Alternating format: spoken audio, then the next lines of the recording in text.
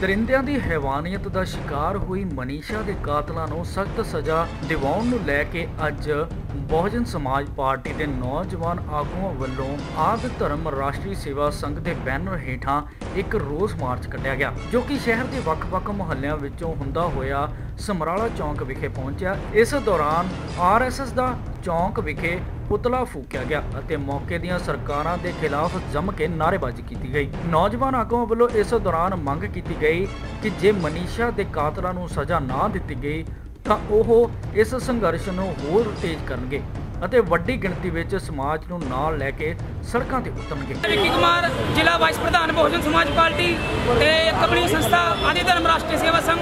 ਤੇ ਜਿੱਦਾਂ ਹੀ ਅੱਜ ਸਾਰੇ ਸੰਗਠਨਾਂ ਵੱਲੋਂ ਅੱਜ ਭਾਰਤ ਬੰਦ ਦਾ ਐਲਾਨ ਬੁਲਾਇਆ ਗਿਆ ਸੀ, ਉਸ ਵੱਲੋਂ ਵੀ ਸਾਡੀ ਸੰਸਥਾ ਵੱਲੋਂ ਭਾਰਤ ਬੰਦ ਨੂੰ ਮੁਕੰਮਲ ਤੌਰ ਤੇ ਬੰਦ ਕਰਨ ਲਈ ਯਤਨ ਕੀਤਾ ਗਿਆ। ਤੇ ਅੱਜ ਅਸੀਂ ਸਾਰੇ ਇੱਥੇ ਭੈਣ ਮਨੀਸ਼ਾ ਨੂੰ ਇਨਸਾਫ ਦਿਵਾਉਣ ਲਈ ਇਕੱਠੇ ਹੋਏ ਆ ਕਿ ਬੀਤੇ ਦਿਨੀ ਜੋ ਯੂਪੀ ਦੇ ਵਿੱਚ ਘਟਨਾ ਹੋਈ ਸੀ ਆਦਰਪੁਰ ਦੇ ਵਿੱਚ, ਕਿ ਭੈਣ ਨੂੰ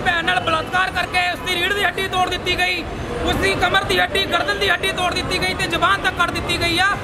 ਜੋ ਹਰ ਦਿਨ ਆਏ ਰੋਜ਼ ਭਾਰਤ ਦੇ ਵਿੱਚ ਦਲਿਤਾਂ ਨਾਲ ਅਤਿਆਚਾਰ ਹੋ ਰਹੇ ਨੇ, ਭੈਣ ਬੇਟੀਆਂ ਨਾਲ ਬਲਾਤਕਾਰ ਹੋਏ ਨੇ। ਇਸ ਦੇ ਖਿਲਾਫ ਅੱਜ ਦਲਿਤ ਸਮਾਜ ਨੇ ਪੂਰੇ ਭਾਰਤ ਦੇ ਵਿੱਚ ਆਵਾਜ਼ ਬੁਲੰਦ ਕੀਤੀ ਆ ਤੇ ਆਉਣ ਵਾਲੇ ਸਮੇਂ ਦੇ ਵਿੱਚ ਅਸੀਂ ਨਰਿੰਦਰ ਮੋਦੀ ਦੀ ਸਰਕਾਰ ਨੂੰ ਆਰਐਸਐਸ ਦੀ ਸਰਕਾਰ ਨੂੰ ਚੇਤਾਵਨੀ ਦੇਣਾ ਚਾਹੁੰਦੇ ਆ ਕਿ ਭਾਰਤ ਦੇ ਵਿੱਚ ਅਗਰ ਕਿਸੇ ਥਾਂ ਵੀ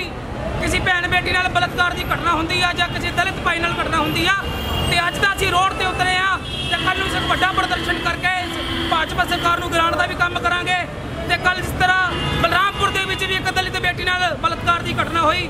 ਉਸ ਦੀ ਲੱਤਾਂ ਤੋੜ ਦਿੱਤੀਆਂ ਗਈਆਂ। ਦਿਨ ਪ੍ਰਤੀ ਦਿਨ ਜੋ ਇਹ ਘਟਨਾਵਾਂ ਵਰਤੀਆਂ ਜਾ ਰਹੀਆਂ ਨੇ, ਇਹ ਸਭ ਆਰਐਸਐਸ ਤੇ ਬੀਜੇਪੀ ਦੀ ਸਰਕਾਰ ਬੜਾਵਾ ਦੇ ਰਹੀ ਆ। ਤੇ ਮੈਂ ਆਪਣੇ ਦਲਿਤ ਸਮਾਜ ਨੂੰ ਵੀ ਬੇਨਤੀ ਕਰੂੰਗਾ ਕਿ ਵੱਧ ਤੋਂ ਵੱਧ ਸੰਖਿਆ ਦੇ ਵਿੱਚ ਇਕੱਠੇ ਹੋ ਕੇ ਅੱਜ ਦੇ ਦਿਨ ਇਹਨਾਂ ਦਾ ਸਰਕਾਰਾਂ ਦਾ ਵਿਰੋਧ ਕਰੀਏ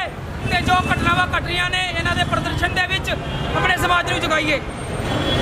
ਹੁਣ ਵੇਖਣਾ ਇਹ ਹੋਵੇਗਾ ਕਿ ਇਨ੍ਹਾਂ ਨੌਜਵਾਨਾਂ ਵੱਲੋਂ ਸ਼ੁਰੂ ਕੀਤੇ ਗਏ ਇਨਸਾਫ ਨੂੰ ਲੈ ਕੇ ਇਸ ਸੰਘਰਸ਼ ਦੀ ਆਵਾਜ਼ ਸੱਤਾ ਤੇ ਕਾਬਿਜ਼ ਸਰਕਾਰਾਂ ਦੇ ਨੁਮਾਇੰਦਿਆਂ ਤੱਕ ਪਹੁੰਚਦੀ ਹੈ ਜਾਂ ਨਹੀਂ। ਪ੍ਰਾਈਮ ਮੁੱਦੇ ਲਈ ਲੁਧਿਆਣਾ ਤੋਂ ਕੈਮਰਾਮੈਨ ਅਮਰਿਤਪਾਲ ਦੇ ਨਾਲ ਜੋਗਿੰਦਰ ਕੰਬੋਜ ਦੀ ਰਿਪੋਰਟ।